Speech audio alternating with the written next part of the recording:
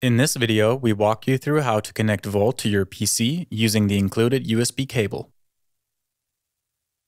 Volt has a USB-C port which is used to connect to the computer using the USB 2.0 protocol. Connect Volt to a USB-A port on your computer with the included USB-C to USB-A cable. If your PC has only USB-C ports, then you need to connect Volt with a USB-C to USB-C cable.